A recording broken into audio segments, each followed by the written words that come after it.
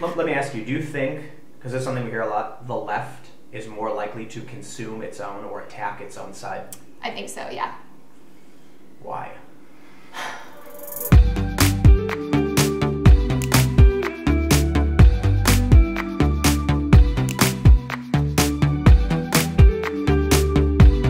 Okay, everybody. My original plan was to come to Los Angeles and then shoot up to San Francisco for the wildfire story. There's a lot going on. There's a lot of people that need their stories highlighted. However, it's being announced now that the governor of Florida has declared a state of emergency because Richard Spencer is on his way. So I'm going to be diverting to Florida for this, God, just depressing and, and, and absurd story. But today we are joined by Laci Green. Oh, hi. Do you want me to look at you? Uh, yeah, sure. Okay. So I've known Laci for a while, and we avoided doing any videos during the whole Laci red pill thing. Yes. And now we're finally going to do a video together, Yes. and we're going to talk about tribalism because I think you are probably an expert when it comes to tribalism. I don't know about expert. I feel like my experience is very intense. However, Yeah. Well, like then- being caught in the middle of all this shit. Then, then, then you start. Take it away. Yeah. Well, I mean, the whole the whole drama was basically. I mean, the way that I understand it now, all that stuff that happened, is just a big tribal feud. Because look, when I look back at all that stuff that happened, and you were like there with me. I think you were even there like right after I recorded, or you, like I was at your I house. rehearsed the script to you. Yeah, I mean, you were there like through it all, and like on this side of it, I honestly think like people way overreacted to what I said. I don't feel like I said anything crazy or at odds with what I've always said, but everyone freaked out, and I think a big part of it is because it people perceived it as this sort of threat to a tribe. You know, a Yeah. threat in associate like threat by association. You know, guilt by association, threat by you know, saying maybe this other tribe has some legitimacy, a political tribe, right? Um, I don't know. it's, it's just- like if you aren't always criticizing the the other, yeah, then you must support them or you're legit, legitimizing them in some right, way. right. Yeah. So you and you're not allowed to criticize your own either, Right, right, right. Because that's a sign of weakness. You know, it shows that you aren't loyal or something. And I think that happens on, to be clear, like both sides.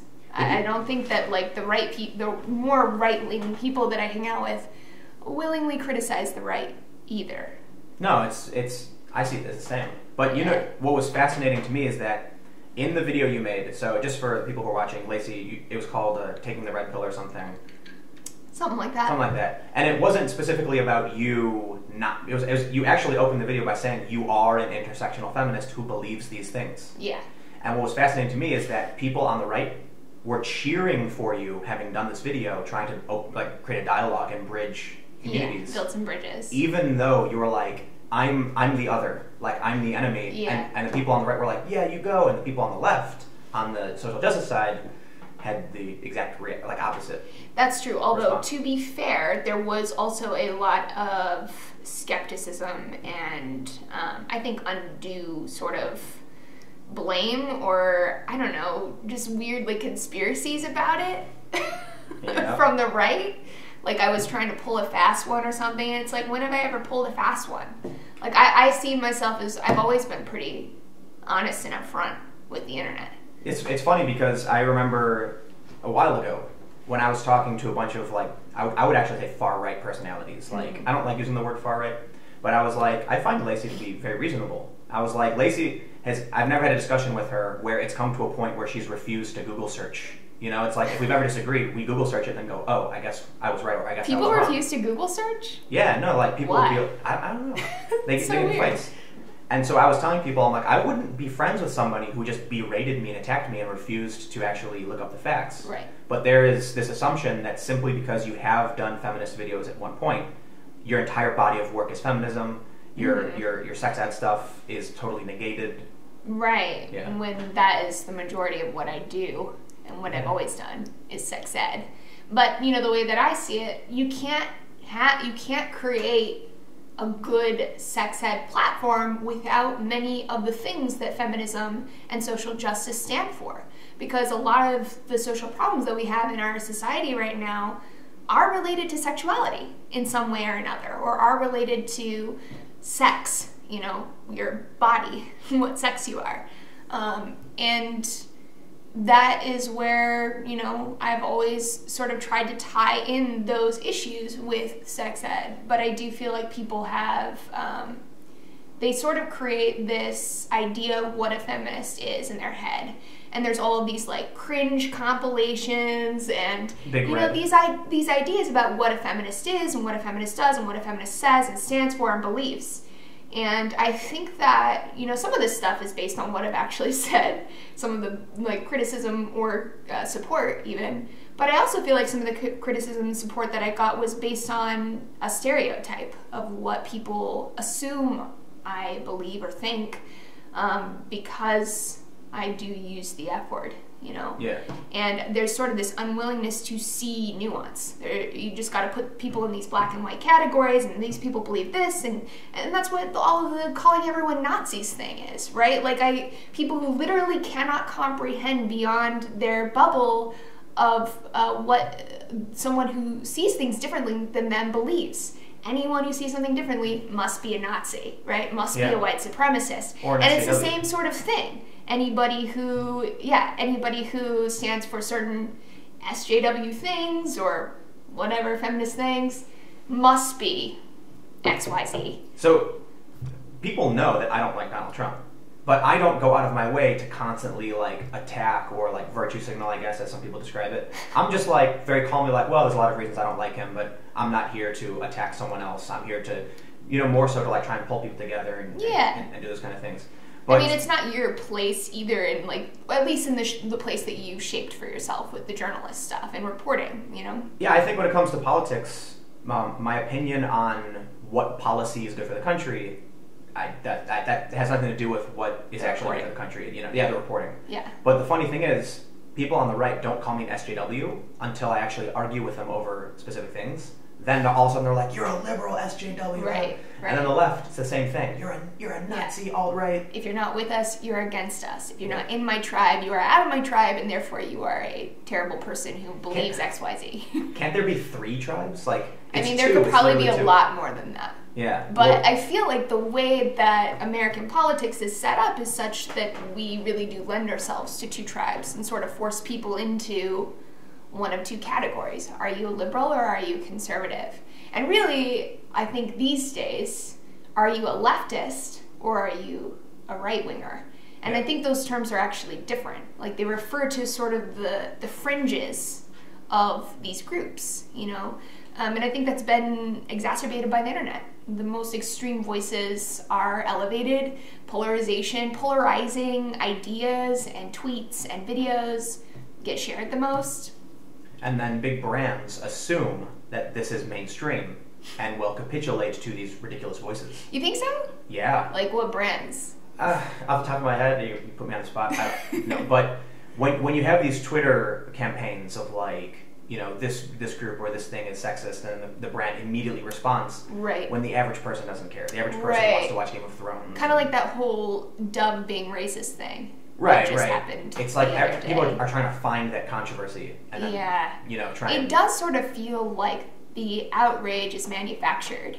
And that was another, I think, element of my experience was manufactured outrage. Like people just wanted something to be angry about. And it's so funny. Like some of my good friends, right? Pe- Or people, some of them are people I've met online, some are people I've met in real life, were like, I heard crazy shit about what you had said and done on the internet, and I was terrified to watch your videos. I was terrified I was gonna watch like some right wing, just like crazy shit. And then I watched it and I I could not believe how over hyped and over how much outrage what this simple thing that you had said generated. Yeah. That hey, maybe we should talk to people who have different opinions and maybe there's validity to arguments and trying to see the other side of things, you know? Well, let, me ask you: Do you think, because it's something we hear a lot, the left is more likely to consume its own or attack its own side? I think so, yeah. Why? Why Right. That's the big question. Why? Well, I don't know. Like when I was first starting, in the first few videos that I had made that had garnered some popularity in more political circles, like more leftist circles, that was when I first started getting these pretty vicious attacks from the left.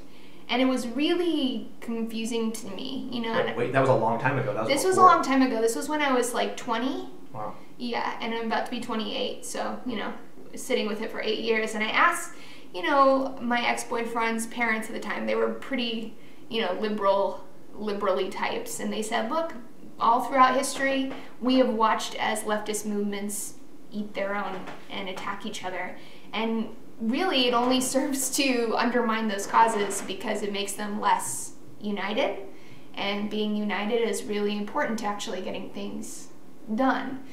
Why people eat their own, I don't know. Like, I think there's probably something to be said about the importance of appearing righteous, of Virtue appearing, signaling.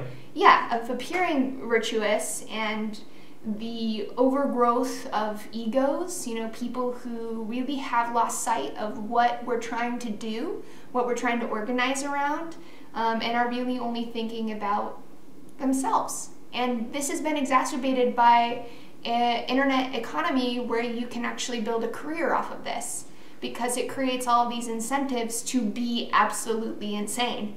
And people get away with it, and they will continue to get away with it. And I worry about what that means for movements and what that means for me. I don't really care about the tribes as much.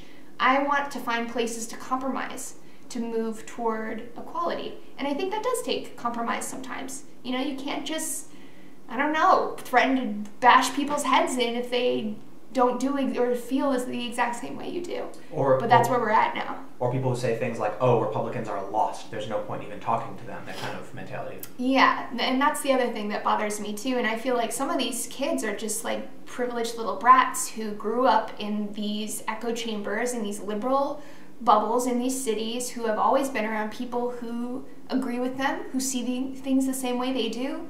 And I come from like a more rural area. Everyone in my area is like very conservative. My family's Mormon. The other half of my family is like you know, not Islamic. They are anti-Islam, but you know, grew up in an Islamic, come, came up in an Islamic country. You have to learn to navigate that. You know, you have to learn how to have productive conversations with people who see things differently. You can't just expect to say, well, this is the only, you know, this is the only way to see it, and if you don't, you are a racist, sexist, homophobic, whatever, Nazi. and I will not talk to you anymore. Yeah. Yeah, or Nazi. And Or to me, that's it's also so insulting because it takes the power out of those words. It takes the power out of those problems because now you're accusing everyone to every degree of problematicness or ism, right? Every degree is the same, and that's not true.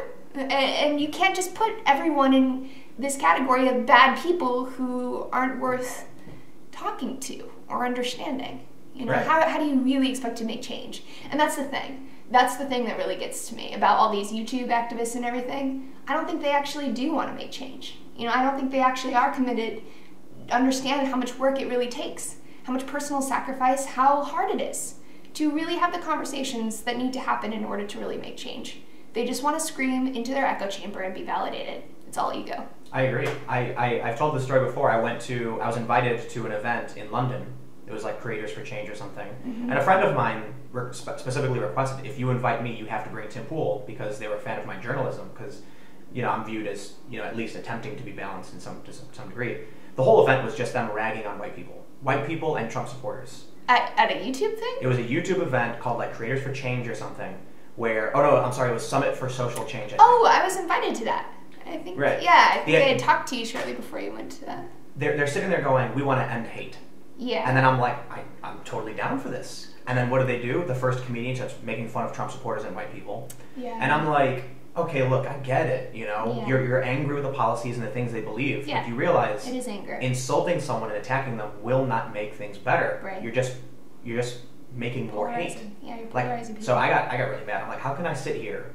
You know, the, the reason I got triggered, I would say, is that it was an event to end hate that was breeding hate, and to me, that's like a, a paradox, inefficient. Mm-hmm. Yeah. So I just was like, I left. Breeding hate against Trumpsters and white people.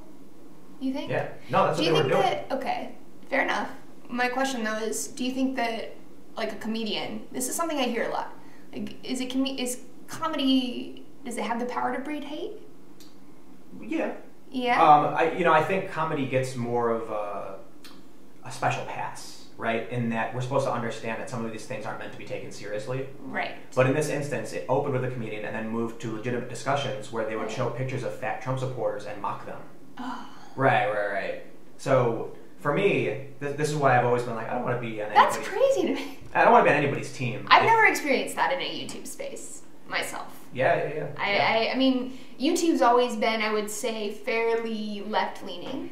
Um, and I think that's a good thing. You know, I think that the the idea of inclusion and wanting to make sure that everybody is included on the platform is a good and noble goal.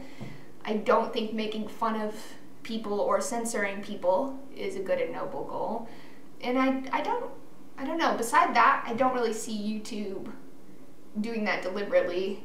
They, I think they accidentally. Like, do you remember the LGBT stuff? Like there was the Yeah. safe filter. yeah, yeah, yeah. Yeah, like I think a lot of the stuff that YouTube does is just pure clunkiness, you know, and trying to figure things out and maybe doing it in an awkward. Never attribute Way. to malice that which is easily explained by incompetence. Absolutely. Yeah. And And that's so relevant today. Like in so many things online, people just go zero to a hundred. It's like, well, maybe you know, outrage isn't what's necessary here. Maybe Well- just ask some clarifying questions. literally what I said in my video two days ago was that almost all of these channels, these mission-driven storytelling platforms, are looking for the bad guy. hmm And sometimes there isn't. Sometimes it's just we disagree.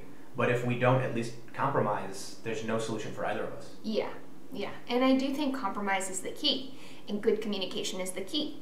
And you know, people who think this is inconsistent, I say go watch any of my videos about relationships and how you form relationships and how you build community. Because those are the foundation. If we can't communicate and we can't compromise to get things done, then we're not going to go anywhere. Yeah. You know, gridlock. All right. So fascinating conversation. What do you think is going to happen in the future? This is like the last. This, this is how I end things, right? What's what's next? Uh, is it going to get worse? Is it going to get better? You know, you're a prominent voice in the space. What's your opinion? I don't know. I do think that things will get worse. It's a bummer, isn't it? Yeah, I mean, I, I don't want to believe that about people. Because I am the type of person who will be, you know, have so many reasons to be jaded and still want to trust and still want to believe that people are good. But the reason why I think it will get worse is because I think that some of these problems are baked into the platforms that we use to communicate. I think a lot of the polarization and stuff is being incentivized online. I mean, YouTube drama stuff, you know, sort of, I don't know, It just does really well. it does really well and just all of these like riots and things at these talks and just you know all of this stuff just this inflammatory stuff people are you know they're lining their pocketbooks it gets clicks it gets views making me out to be a hate monger and a TERF it gets clicks it gets views people get outraged and maybe it's because people just want to feel something you know? They they feel powerless they feel you know upset and i feel very upset about what's going on in our country right now. I wish that those people would look inward at how they're managing their grief or upset and figure out ways to actually do something productive rather than lashing out at each other. Well, here's hoping. Here's hoping. Yeah. Thanks for hanging out, Laci. Of course, Tim. Yeah. Anytime. So thank you all so much for hanging out and watching. You can follow me on Twitter at Timcast. If you want to support my work, go to timcast.com forward slash donate. Give whatever you'd like, give nothing at all. My videos are always free and available every single day at 4 p.m. And stay tuned for breaking news and live streams from around the world. I am currently on my way to Gainesville, Florida because the governor has declared a state of emergency simply because Richard Spencer wants to speak at a university. There's a huge protest planned, and I guess we will see what happens. So, stay tuned, and I'll see you tomorrow at 4.